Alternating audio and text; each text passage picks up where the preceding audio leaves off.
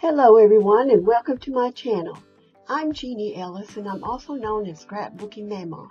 And today I'm sharing a project with you using digital art from TaylorMade Cards for You.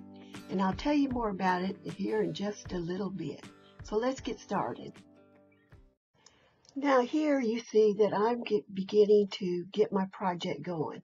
And what I'm making is uh, a little, like a little booklet. It's not a book, but a booklet.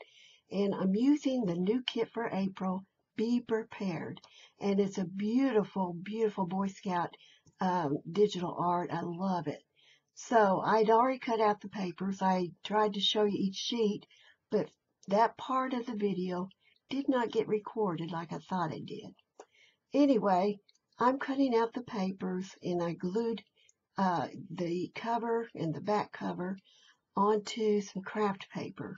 That way I make it more sturdy and I don't have that big shiny white on the back. So the next thing I want to do is get my uh, washi tape and I want to hold down the papers or the covers and put on some duct tape. And this is white duct tape and you'll see that it worked great. I mean, I, it was very flexible. I was able to use it. There was no problem getting it folded or anything. I just had to do some trimming to it. So the next thing I'm going to do is take my inside covers and glue them down. And we're going to hide that white duct tape. You won't even know it. So while I'm doing that and getting things into that booklet, I want to let you know that there is an April challenge. And It is always anything goes but you have the optional theme of the great outdoors. And there is a monthly digital prize, which is a $10 gift code to TaylorMade Cards for You. And the new project is Be Prepared. I don't remember if I mentioned that or not, but the kit is Be Prepared. That's what I'm working on, and it is absolutely gorgeous.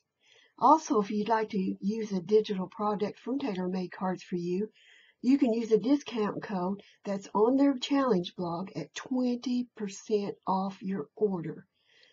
So let me get going again. Here I am adding more ephemera to it. To help hide that top where the white was showing, I thought it'd be a great idea to go ahead and put uh, that long strip. They kind of look like postage stamps, and I think that's probably what they were and I went ahead and, and put them up there to hide that. And I'm making a little booklet here and I'm trying to decide what do I want to do with it? How do I want to do it? So while that's going on, I'm going to stop narrating so because you're going to see what I'm doing and I'm going to put a little music on.